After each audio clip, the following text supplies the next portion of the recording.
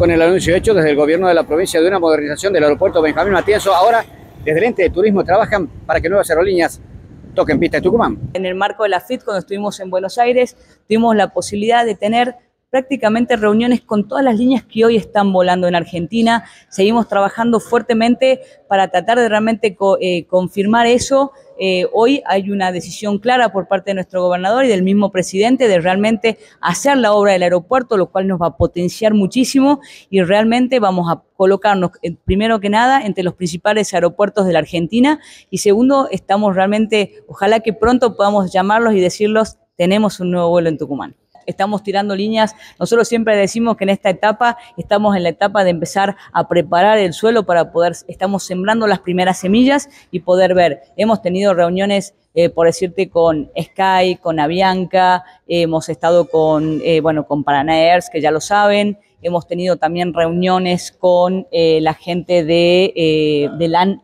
Perú, eh, la en Chile estamos buscando esa, esa charla en breve, estamos también tratando con ellos, bueno, ojalá que en breve los podamos tener por acá.